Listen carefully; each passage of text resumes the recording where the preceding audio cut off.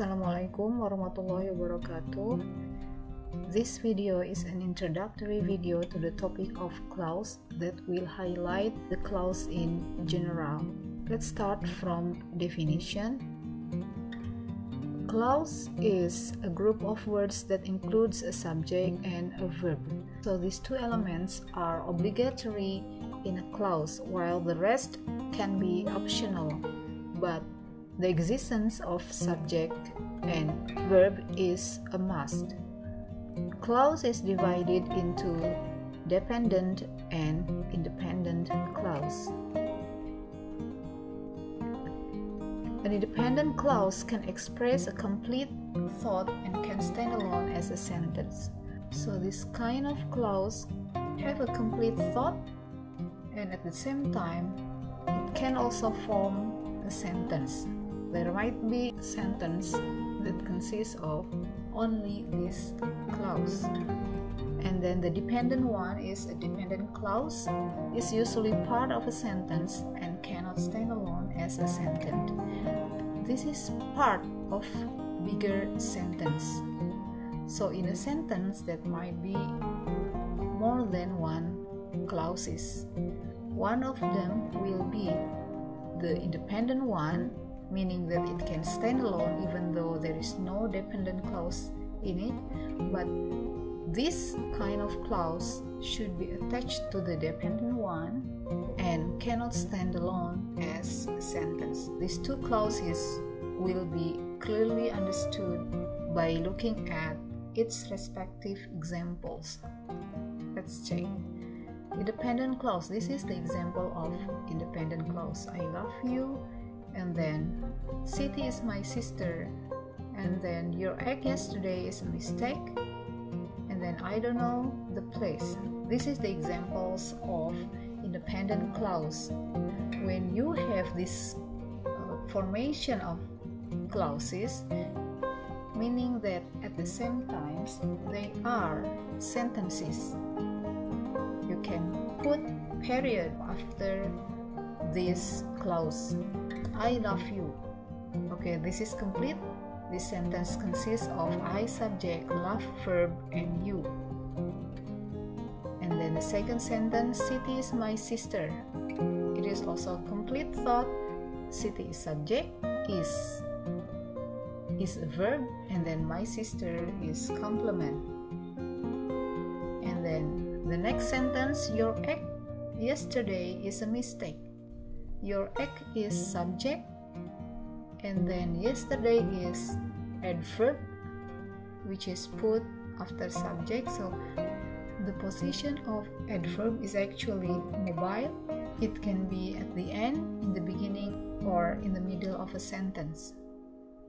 Your ex subject yesterday is adverbial is verb mistake complement and then the last i don't know the place.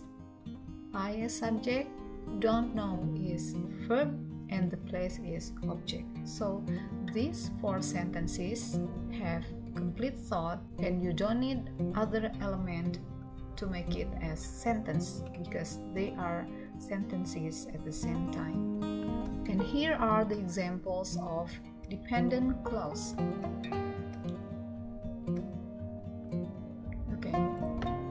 This is actually the development of previous examples in independent clause. In the previous example, we have I love you, and then here the word you is developed into other clauses, then it becomes I love the way you look at me. So here there are two clauses in this sentence. The first one is I love, and then the second one, this is the clauses in orange are dependent clauses the way you look at me is another clause which is dependent, meaning that it cannot stand alone. It should be together with other clauses to make it complete. So we cannot say, the way you look at me. It doesn't make sense as a sentence. Let's move to the second example. The girl who won the medal is my sister. Previously, the example is Siti is my sister. If you have this as the girl is my sister, it already makes sense. But perhaps you want to explain more about that girl. Then you put a clause to explain this. Becomes this sentence the girl who won the medal, then who won the medal is a clause to explain the girl. Of course, we cannot make this as a sentence. Who won the medal? Full stop. It is not acceptable. It should be together with other or another independent clause and then what you did yesterday is a mistake. The initial sentence is your egg is a mistake egg here is developed or explained more into specific action then we put a specific action of what you did yesterday, then it becomes a dependent clause of the sentence. So we cannot say or we cannot write it alone what you did yesterday, full stop. It is once again incorrect, but should be together with other independent clauses. Next is I don't know where he was going.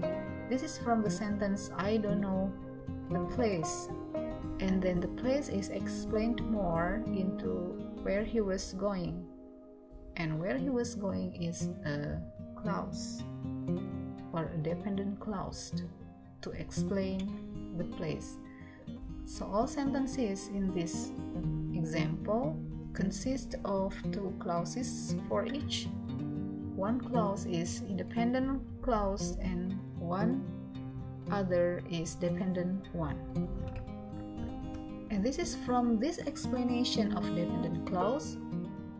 We will talk more about noun clause, adjective clause, and adverbial clause. So these three clauses are categories of dependent clause that will be discussed further in the next video.